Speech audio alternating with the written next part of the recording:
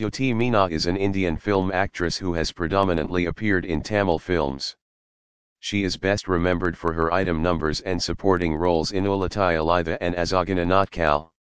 Jyothi Meena was born in Chennai, Tamil Nadu, India. She is the daughter of actress Jyothi Lakshmi and her father is a cameraman when her mother died at her residence in Chennai on August 8, 2016 due to blood cancer too she first appeared in the R. Sarathkumar film, Ragasiya Police. She has appeared in supporting roles, notably in Ullathai Alitha, Azhagana Natkal and Gopala Gopala. She has also appeared in item numbers alongside Ajith Kumar, Prabhu and R. Sarathkumar.